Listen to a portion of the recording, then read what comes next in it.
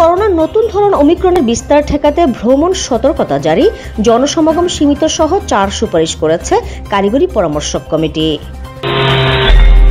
মানব পাচার মামলায় কুয়েতে গ্রেপ্তার সাবেক এমপি শহীদ ইসলাম পাপুলকে সাত বছরের কারাদণ্ড দিয়েছেন কুয়েতের শীর্ষ আপিল আদালত। লক্ষ্মীপুরের রামগঞ্জে ইউপি নির্বাচনে সহিংসতা সাজ্জাদ হোসেন সজীব নামে এক ছাত্রলীগ নেতা নিহত হয়েছেন। নৌকার প্রার্থীর পক্ষে ভোট কেন্দ্রের দায়িত্বে ছিলেন তিনি।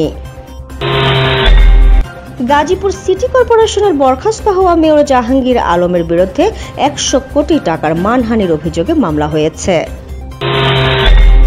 মিয়ানমারে ক্ষমতাচ্যুত নেত্রী অং সান সুকির বিরুদ্ধে দেশটির সামরিক সরকারের দায়ের করা মামলার প্রথম রায় আগামী মঙ্গলবার ঘোষণা হতে পারে।